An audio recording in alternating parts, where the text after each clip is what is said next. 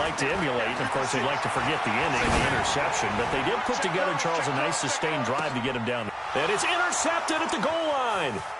Picked up by Fabian Moreau.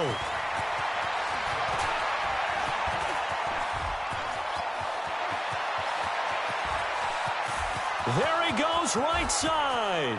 And he will bring this one